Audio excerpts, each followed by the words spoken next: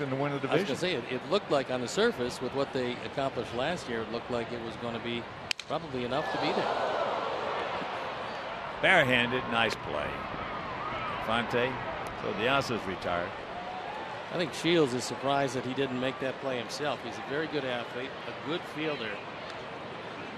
And that ball got by him, but not by Infante. With a bare hand pickup and the throw as the bat shatters.